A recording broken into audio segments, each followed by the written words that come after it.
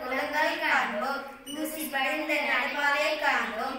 இன்றோ நாசி புகுந்த காடும் மாசு ஏசி போட்ட வீட்டிலும் மாசு காசு கொடுத்த வாங்கும் காய்கறியிலும் மாசு பீச்சில் பிடிக்கும் மீனிலும் மாசு பசி போகும் உணவிலும் மாசு உயிர் காக்கும் குடிநீரிலும் மாசு